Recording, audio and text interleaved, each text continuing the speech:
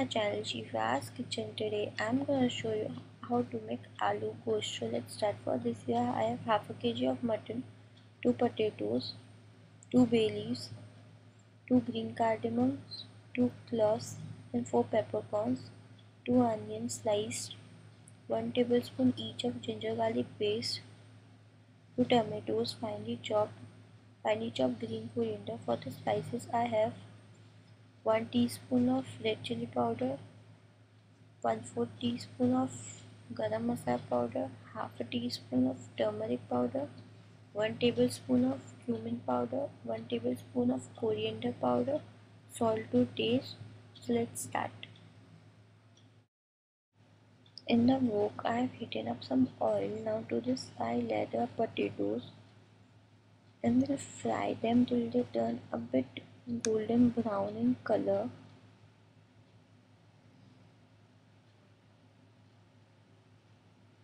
As you can see our potatoes have turned golden brown. We'll remove them on a plate and we'll keep them aside.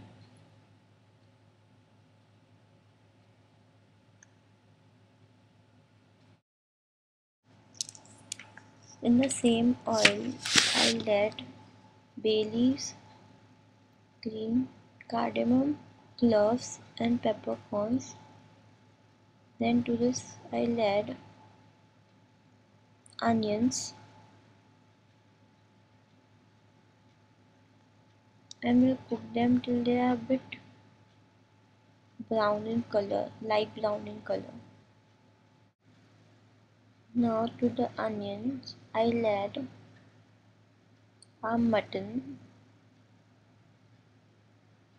mix it and let it cook.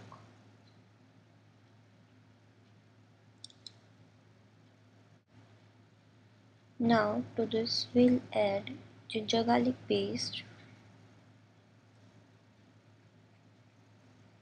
Give it a mix. And let it cook. Here you can use a cooker too but I am using a wok as you can see our mutton is a bit done. Now to this I'll add a spices. Coriander powder. Cumin powder. Red chili powder. Turmeric powder and salt. And we'll cook it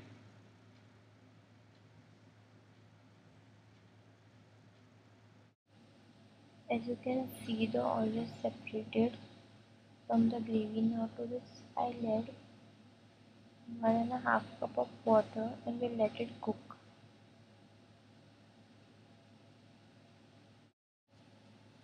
Now to this I'll add tomatoes.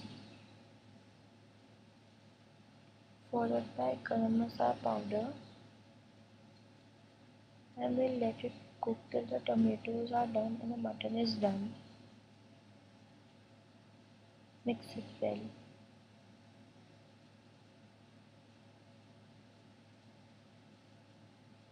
Then to this I'll add potatoes and we'll give it a mix.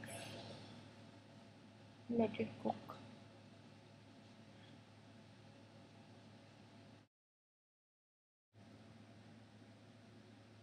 As you can see our aloo gosht is almost done. Now to this I'll add fine chopped green coriander. Give it a mix. And let it cook for about 2 to 3 minutes and aloo gosht is ready.